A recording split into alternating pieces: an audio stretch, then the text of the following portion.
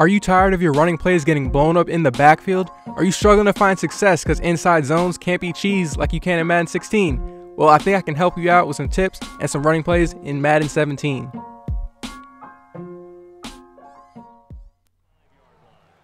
Alright, so before I get into the specific plays, I have two rules. First, you gotta have a nice running back or it's gonna be tough running. My second is putting offensive linemen at tight end for extra blocking. That is a major, major key. This year, I think the stretch plays and outside zones will be the best running plays this year for quick reads. So, we're in the Cardinals playbook and we're going to use a zone stretch play, zone of stretch. Got David Johnson. I'm going to be reading the fullback and the edge blocker to see where I have to go. So the wide receiver is going to motion over. We get a great push up front. The fullback comes right through. And it's all about being the corner to the end zone and we get right in. I'm going to slow-mo it so you can see it clearly without rewinding. I'm watching multiple people on these plays. The outside linebacker's reaction, where the fullback goes, making sure the defensive tackles don't push to the edges, and it's all about reacting to the gap because it will close fast, and we made the right one for the touchdown. Now here we have the same stretch play, just a different formation. It's always good to switch it up on your opponent because this tutorial isn't going to be me dominating the computer in practice mode. This is live head-to-head -head against another opponent so you guys can watch this live in real action. There was a little resistance up front right here, but we slipped through and pulled off a nice spin move right there. And we're getting a huge gain, almost taking 77 yards, but the Ravens have some fast defensive backs. And we get tackled inside the 10. So to slow-mo for you guys again, we're reading the edge linebacker, we're watching the fullback. He gets a nice chop block, and once you get in space, it's all about your stick skills, and we get a nice little spin move right there. So the next play isn't a stretch zone, but I wanted to point out how putting offensive lineman at tight end will help. We're running at Terrell Suggs, who is a 90 overall. He shedded that block. He shed that block, yes, but our blocker holds the block long enough to give us time to the edge. A regular, a regular tight end wouldn't have been able to make this block. And just a side note, I wouldn't recommend putting tight ends at receiver for extra blocking every time.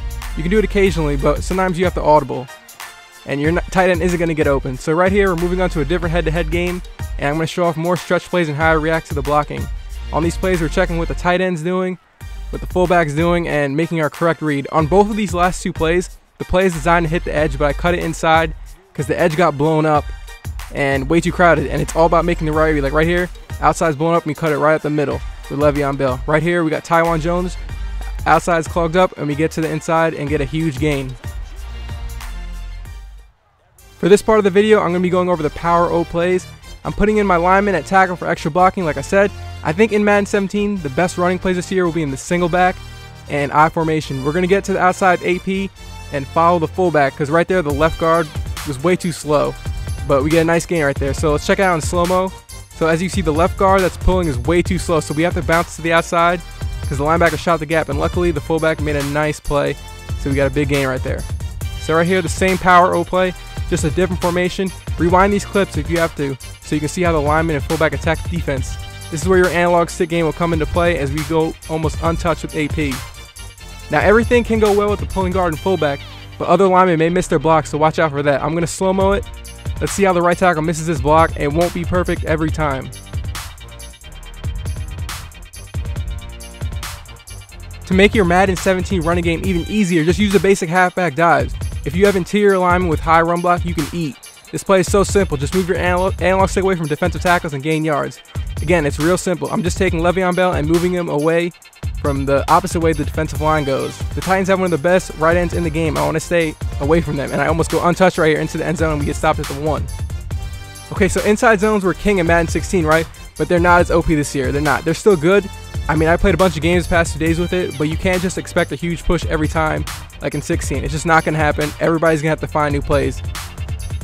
Like right here, I go up the middle, some resistance right there.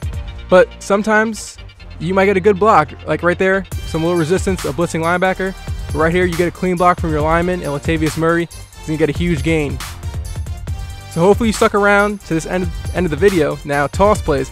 Toss plays are good this year. I haven't tried out the strong, strong close toss play that everyone loved last year, but I have used the ones in the I formations. This is where you'll need your fast running backs because you'll get caught by 85 speed linebackers. There's a lot of fast linebackers in Madden this year, so you want to get to the outside with fast linebacker, with your fast running back. All right, that's the end of my running tutorial. If this helped you out or if you found a good running play, let me know in the comments. It's a new year, but it's still Madden. It's all about finding backs at fast speed, plays that work for you, your scheme, and how the defense is playing the line of scrimmage on that play. So show some love on that like button if you mess with the video. I might do a passing tutorial too, so be on the lookout for that. Alright, I'm out. I'll check you guys in the next one.